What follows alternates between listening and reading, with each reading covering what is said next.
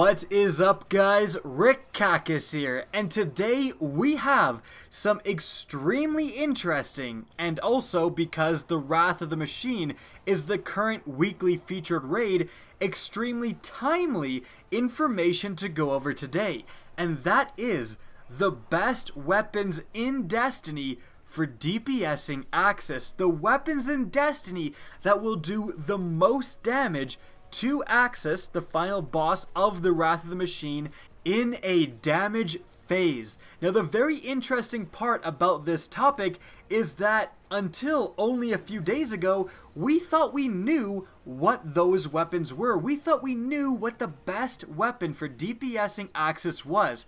Again, until only a few days ago, until only, in fact, yesterday, when things started to change. So, let's discuss this. For the longest time, everyone thought that the best weapon for DPSing Aksis was the Dark Drinker Exotic Sword, and there's a very good reason for that. The way Aksis is constructed and the way his hitboxes are is such that you can hit multiple hitboxes at the same time. Now this is extremely important for explaining the best DPSing weapons on Aksis. So, each of his legs and his body have different hitboxes, and the reason being is so that you don't have to hit a certain leg, right? You don't have to go up to a certain leg, and if you're shotgunning the wrong leg, it wouldn't do any damage. So each one of those legs, each one of his appendages, all of that stuff has hitboxes, and you can trigger multiple hitboxes at the same time. And again, that is why the Dark Drinker is so good. When you're doing the Dark Drinker's exotic sword attack, the swinging attack, you can hit multiple legs with one swing, just massively increasing your damage over a normal enemy that only has that one hitbox. Now, the reason things have changed recently is because of Reddit user Pantsman1084. He said that, hey, if you have a rocket launcher with cluster bombs, you can out DPS the Dark Drinker. Now, this was backed up and tested by Jelly Crew Gaming, and further tested by me, Aztecross Gaming. Uh, he was actually in the same raid group as me. Blessius was there too. We did a lot of testing. We ran a lot of numbers and we found some very, very interesting stuff. Guys, this video, especially actually for new players, this is going to be extremely helpful. So, what the heck is going on with these rocket launchers? Well, the same process and why I took the time to explain the multiple hitboxes is going on here. A rocket launcher, when it hits Aksis, because of its blast radius, it can affect those multiple hitboxes at the same time. You're getting the damage spread out and multiplied each time it hits those different hitboxes. So, when you have a rocket launcher with cluster bombs, you are getting the absolute maximum effect of this multiple hitboxes strategy.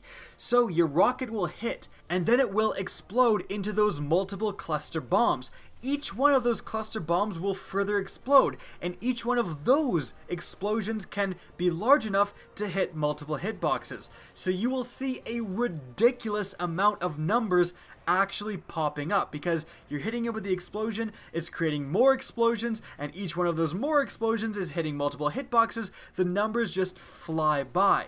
Now that is very impressive, but can that actually out DPS the Dark Drinker against Aksis? Well, we tested it. In fact, we tested several different weapons all against Aksis in a phase 3 teleportation. So he's teleported two times already. We have the longest damage phase. We have none of us dealing any damage whatsoever against Aksis prior to that. So none of us threw any of the SIVA bombs and then we're using no other factors as well. No weapons of light, no tethers, this is just the weapons we're using versus Aksis. So, let's see what happens. Aztecross is using the Warpath, the future War Cult rocket launcher that was sold last week, and it has Cluster Bomb as the main perk we're looking for in getting this DPS going. I'm actually using the Vault of Glass rocket launcher, the Hezen Vengeance. And the reason being is because it uses the uh, Mini MIRV perk. Now, this is basically functionally exactly like cluster bombs, but there's actually less explosions, but they do more damage. So, a lot of people were very interested in seeing if especially the Hezen Vengeance can out DPS everything. And then Burgers XP, one of our party members, is using the Dark Drinker. All of us again are testing it with completely sterile damage with no other factors, you are just seeing the weapons. So in the first damage phase, we got some very interesting results. I came in on top with 387,000 damage. After that, right after that, we had Burgers XP with the Dark Drinker, 350,000 damage, and in last place, Aztecross with 312,000 damage. So, first test, there you have it. Seven rounds from the Hezen Vengeance, seven rounds from the Warpath. Seems like the Hezen Vengeance is out DPSing everything, and heck, I just out DPSed a Dark Drinker, which is pretty insane. However, um, there's a little bit more crazy stuff going in the background, and that's why the pros test this stuff more than once. So, during the second damage phase that we tested this, again with all of those factors the same, I hit him seven times, although the damage numbers were pretty substantially different. This time, I didn't do that much, 330,000 damage. Aztecross was killing it with three, almost 400,000 damage, and Burgers did get 400,000 damage. That disparity in damage is actually very important. You can see from the background gameplay, I hit him every single time. It's not like I missed a rocket. And so why am I doing less damage? Well, it's the nature of the weapons we're testing. Things work out very, very well when all of the cluster bombs, or in my case, mini MIRVs, actually explode and actually hit those multiple hitboxes. But also, sometimes just by how you hit Aksis or by how the mini MIRVs explode outwards, they don't do nearly as much damage. So there is that degree of uncertainty. However, moving on, the third damage test echoes the results of the first damage test. This time, we up the ante. I put on the Alchemist Remnants, uh, Warlock exotic chest pieces that actually give you more heavy ammo storage. This combined with legs that give you extra rocket launcher ammo means that I was able to have 8 rounds, which is the maximum you can get, I believe, in the Hezen Vengeance, and Aztecross was doing the same. He had eight rounds, and of course, our Dark Drinker user Burgers was just maxing out his ammo with a synth and just going for it. And uh, as you can see by the damage results, after all is said and done, the Hezen Vengeance comes out barely on top with 405,000 damage. The Dark Drinker is just barely behind that with 402,000 damage, and then lastly, Aztecross with almost 340,000 damage. So, from these results, it would seem that the Vault of Glass rocket launcher, that the Hezen Vengeance would be the best weapon in Destiny to damage Aksis. And that is a very interesting result. That is something that we did not know before. We did not know this before. And again, multiple tests showed that in terms of pure weapon DPS, the Hezen Vengeance and the Mini MIRV was out damaging the Warpath relatively consistently. Again, there was some discrepancies. There was certainly some times that Aztecross was out damaging me. And actually, it is very interesting that he said that he had a couple of seconds at the end. The problem with the Hezen Vengeance is that although it does look like it does more damage, it shoots very, very slowly. So, Az was telling me that he had time to actually get some sniper rounds off if he had wanted to. However, for the test, we didn't do that. We just did the 8 rounds from the rocket launcher. So when all is said and done, because of your extra time you have with the Warpath or potentially even with other rocket launchers that shoot even faster, and you can mix up the rest of the rounds with a sniper rifle, you may eke out your damage overall than the Hezen Vengeance. But again, when we're talking pure weaponry, it looks like the Hezen is on top. However, with all of that being said, that isn't necessarily what you should take away from this video.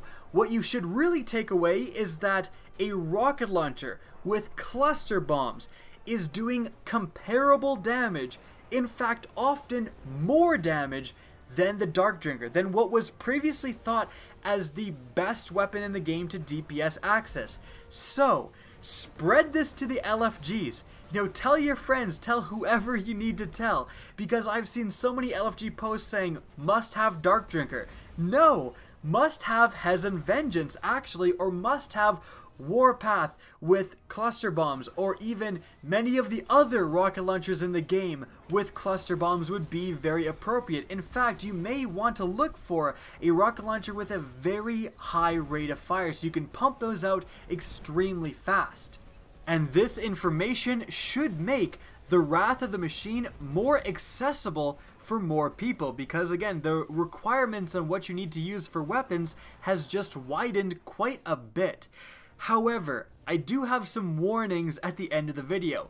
It's not the be all and end all to use a rocket launcher. When we're testing them in sterile environments with a lot of restrictions, with no other factors, these are the damage numbers and they are very interesting. However, when you're actually damaging Aksis and you're using a rocket launcher, there is some things that can go wrong. Dark Drinker in the end may end up being more consistent.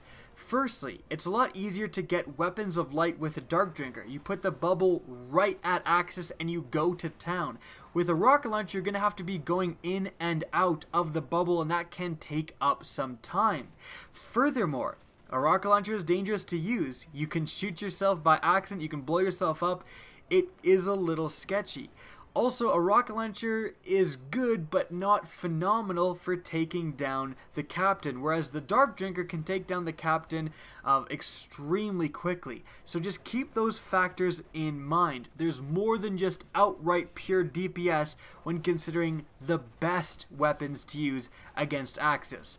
But again, in terms of DPS, your options have just been made a little bit more numerous. I hope you guys enjoyed this video and found it informative. If you did, please remember to help me out by simply rating and especially sharing this video. If you guys want to see more Destiny content similar to this, don't be afraid to slap that subscribe button. And if you want to get in touch with me and keep up to date with the latest channel activity, the best way is to follow me on Twitter at RickKackis.